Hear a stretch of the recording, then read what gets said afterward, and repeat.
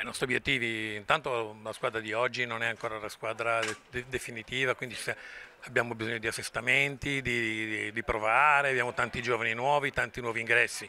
I nostri obiettivi sono quelli di fare, eh, noi ci diciamo sempre meglio della stagione scorsa, dove abbiamo fatto terzi insieme alla Rivarolese, quindi se noi riuscissimo a fare terzi o secondi sarebbe già un risultato importante.